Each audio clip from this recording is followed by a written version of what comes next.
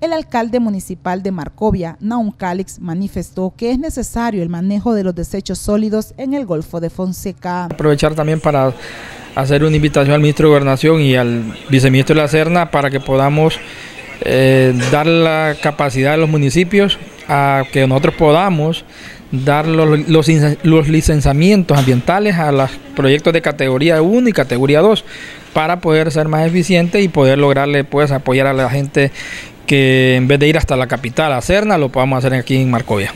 Y sin duda alguna el manejo de los desechos sólidos, que es el problema que se tiene en el Golfo de Claro, y hemos hablado del tema de los manejos de los desechos sólidos, también de cómo manejar el manejo de las cuencas alta y baja del río de Choluteca para poder lograr tener mayores beneficios.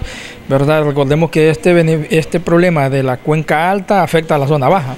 Entonces tenemos que hacer un efecto de coordinación con los de otros municipios, desde la zona alta a la zona baja, para bajar un poco el impacto del manejo de la basura, los que es inundaciones. Entonces, todo lo va a ser articulado. Si logramos hacer articulación con todos los actores, podemos lograr tener mayor efectividad. Por su parte, el viceministro de Cerna mencionó que el manejo de tema marino costero y el tratamiento de los desechos sólidos es prioridad en estos tiempos. Bueno, este es un tema para el tema de manejo de de todo el tema marino costero, ¿verdad? Son con los, las alcaldías que tienen en incidencias en el Golfo, en el Golfo de Fonseca.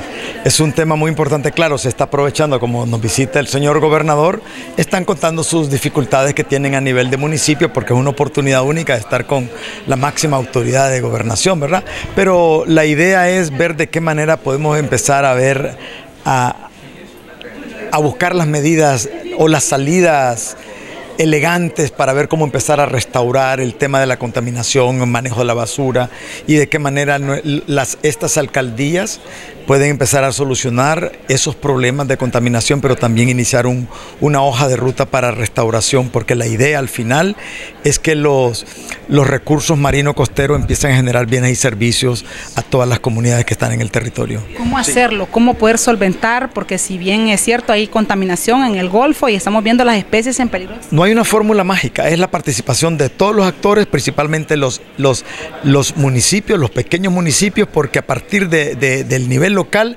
vamos a empezar a solucionar los problemas de la basura, la deforestación, la contaminación. No es, nadie tiene una fórmula mágica. Para Metro TV y Radio Ilusión, la 107.5 FM, les informó Amanda Pastrana.